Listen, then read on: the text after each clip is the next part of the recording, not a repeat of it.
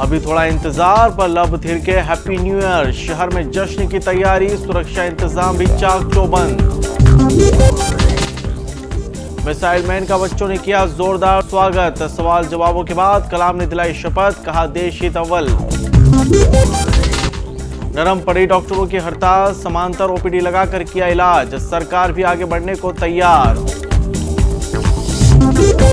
और कांग्रेस के राजनीतिक सम्मेलन में पार्टी वर्कर्स हुए मुखर, चमचों की चर्चा पर चंद्रभा ने दिए ठंडे छींटे।